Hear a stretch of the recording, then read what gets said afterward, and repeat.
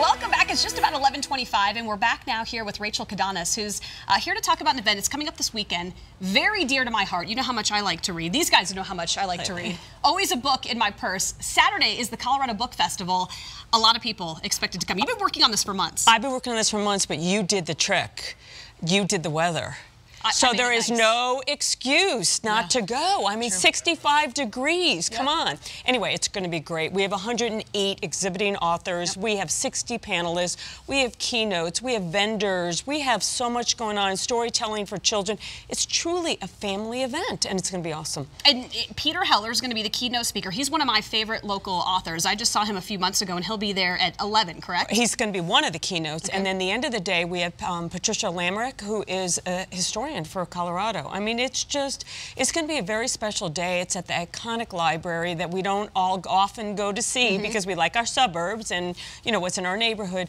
But we're going to have art tours and library tours. I mean, it's just going to be a full day. I'm a learner, and so for me to walk into a place like that, there's so much to learn.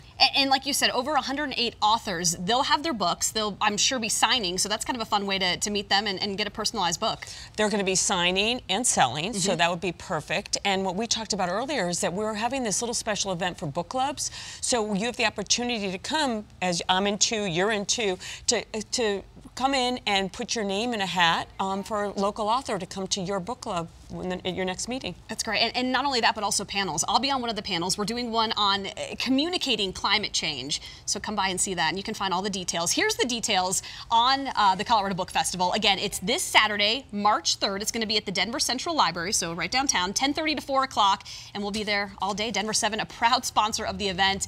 Uh, hope to see you on Saturday. Uh, this is going to be fun. It's going to be fun, and I really thank you guys for being a part of it because it's just a great community event. It's my excuse, you guys, to get away. I, I usually hide in the bathroom reading so that I get some time away from the kids. Now I'll be at the library all day Saturday. Nice, perfect for you. Thank